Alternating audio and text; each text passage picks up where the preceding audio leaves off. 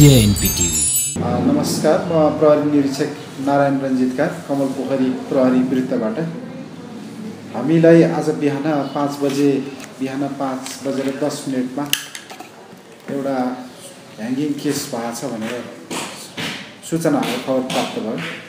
त्यसपछि हाम्रो टोली करिब करिब पाँच दसमा त्यो घटनास्थलमा पाँच दसमा सूचना आयो। त्यसको दस मिनटपछि नै पाँच बिसमा हाम्रो टोली घटनास्थलमा पुगेको छ।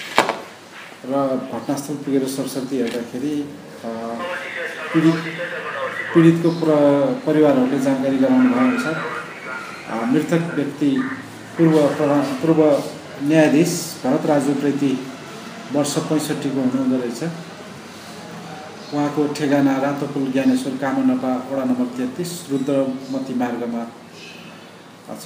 अब घरधनी आफै स्वयं हुनुहुन्छ साढे दुई तलाको घरमा माथिल्लो तला दक्षिणपट्टिको कोठाको यो सिलिङ फ्यान झुन्ड्याउने अगाडि गर्नुपर्ने हाम्रो यो मुचुल्का लगायत सम्पूर्ण प्रहरी अनुसन्धानका कामहरू हामीले सरस्वती प्रारम्भिक अनुसन्धानका कामहरू पुरा गऱ्यौँ र हामीलाई सहयोग गर्नको लागि महानगरीय प्रहरी अपराध महाशाखा हाम्रो टेकुबाट पनि टोलीहरू आउनुभएको छ।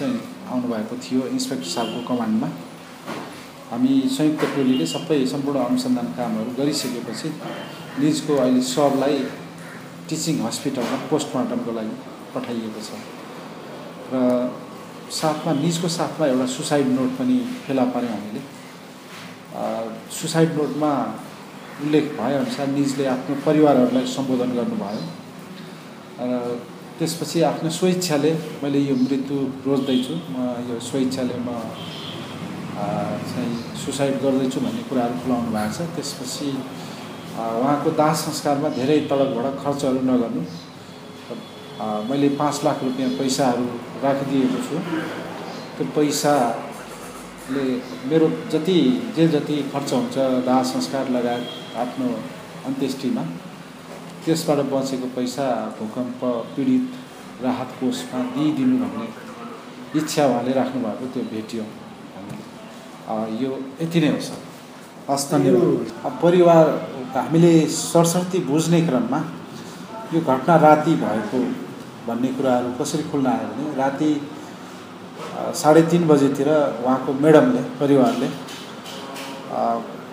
बेडरुममा हुनुहुन्न रहेछ। नभएपछि कता जानुभयो भने टोइलेट यताउता खोज्न जाँदाखेरि त्यसपछि माथि टिभी रुममा यो देखेपछि एक्कासी अ, आफ्नो काम गर्ने केटा समेत सबैलाई बोलाएर खोज खबर गरी तत्काल त्यो खोज्न जाँदाखेरि भनेर हामीलाई जानकारी गराउनु भयो। अब यो टाइमको हकमा चाहिँ हामीलाई उहाँले एकछिन बताउन सक्नु भएन। अब त्यो घडी टाइम उहाँले हेर्नुभन्दा पनि हामी तत्काल अति अब चाहिँ प्रहरीलाई खबर गर्नु पऱ्यो भनेर प्रहरीलाई फोन गर्यो। यो उहाँको सुसाइड नोटमा चाहिँ त्यो जुन उहाँको घराइसी कुरा बाहेक बाहिर यो न्यायाधीश हुँदाको कुरा त्यस्तो केही कुरा लेख्नु भएको छैन वा कसैबाट केही कुरा त्यस्तो छैन। उहाँलाई कहीँ कतैबाट कसैले प्रेसर दिएको भन्ने कुराहरू छैन।